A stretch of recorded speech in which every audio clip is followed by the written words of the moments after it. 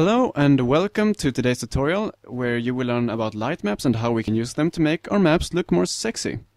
So what are light maps? They are the static lighting in your map and um, we can increase the size of this static lighting to acquire higher detail lighting.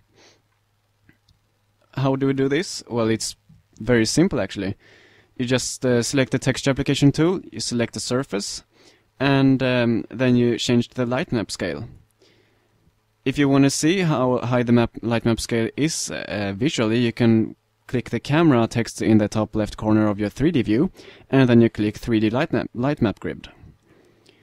As you can see, uh, we all have the standard light map grid size here, uh, also known as 16. So let's change that down to 4.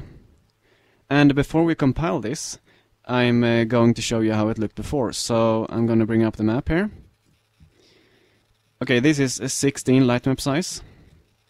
And then let's compile this.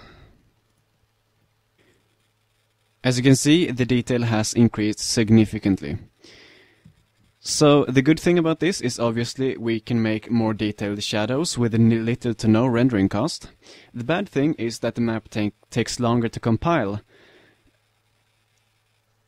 This is of course also usable to decrease the light map size by doing basically the same thing, but you increase the light map scale to something big, and you can use this to uh, decrease the time it takes for your map to compile.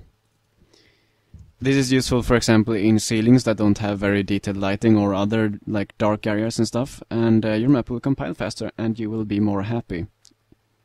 So don't forget to give me a thumbs up, and if you want more video tutorials like this one, you should subscribe. If you have any questions, just give me a comment below. And if you have any tutorial suggestions, you can just uh, go to my channel page and check out uh, the moderator thing I've got going on there. And uh, beyond that, I think you should just have an awesome day. Bye.